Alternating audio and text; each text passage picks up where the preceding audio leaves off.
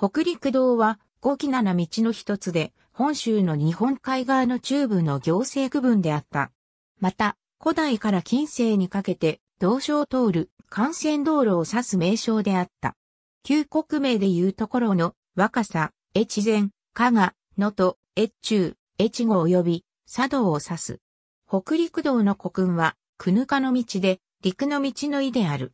同じ日本海側の山陰道と地域間交流をしており、遺跡や遺物にその痕跡が残っている。両西国一覧北陸道北陸道の地域、機内から北に伸びて、本州の日本海側の北東部を総めた行政区画であった。古代の北陸地方が古四国という地方王国を形成した歴史や、機内から北への路線であることから、古市寺、北国街道、北国寺、北陸街道とも呼ばれた。律令時代の道路としての北陸道は、機内と日本海側中部を結ぶ路線であった。両西国の国府を結ぶ感動であり、工事とされた。奈良、京都から琵琶湖西岸を通り、越前へと抜けるルートであった。7世紀半ばに、新潟市街地の一角である、沼水のあたりに、ぬたりの柵が築かれると、ぬたりの柵が北陸道の北限となった。後に延伸されて、根津ヶ関が北限となった。古代北陸道10世紀初頭になると、造船、操船技術が発達を見たことから、物資運搬の難所であった山岳区間を避け、琵琶湖や敦賀から日本海沿岸に向けた航路も併用されるようになった。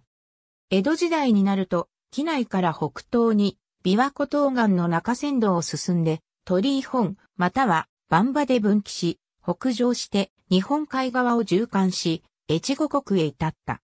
競技の北国街道は中山道、随分宿から直江津までの道路を指すこともあり、これは善光寺街道とも呼ばれ、善光寺への参詣のために整備された。幕末の1859年に新潟が開港後港の一つになると、新潟が北陸地方と東北地方を結ぶ交通網の接点として栄え始めた。明治になると道路、鉄道といった陸路の整備が進んだために、北陸道は再び日本海沿岸の交通網の主要ルートとなった。現在では国道8号や北陸自動車道が律令時代の北陸道を継承している。国道8号は新潟から米原を経て京都に至る路線となっている。なお、鉄道の北陸本線は新潟駅を東端とせず、直江津駅を東端とした。これは、高崎から直江津にかけての中山道、北国街道沿いに、新越本線が優先的に建設されたためである。